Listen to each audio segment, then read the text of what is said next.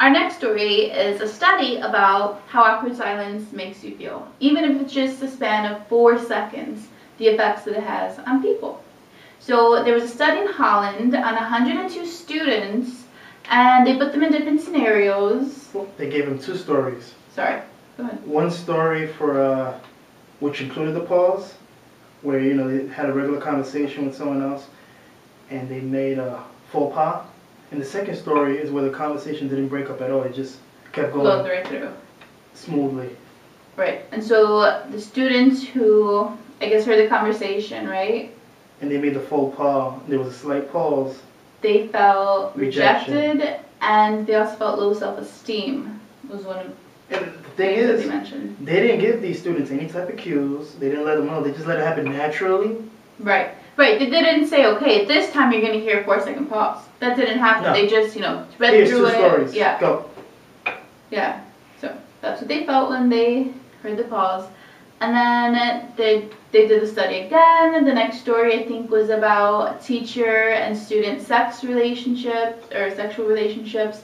And then again, you know, when they were talking about it, there was the, the break of I guess four seconds, and then when they ran right through it, the students who uh, were listening to the story, and then there was the pause after you know discussing the teacher and student sexual relationship. They said they felt the same low self-esteem and they felt rejected. And then the second one where they just flowed right through it, it was just problem. fine. Yeah, it was like you know another. I think it's interesting the whole idea that there is power dynamics even with conversation where a little pause could just feel so totally much. could just shatter you Yeah, because you know you're searching right then. In a little four seconds, you're searching like, what's that person thinking? You know, did I just say something I shouldn't have said? What is that person thinking? And you're kind of waiting on the person to either respond in a good way or in a bad way. There's always that power dynamic. What do you think? did it make you feel awkward in that silent moment? No?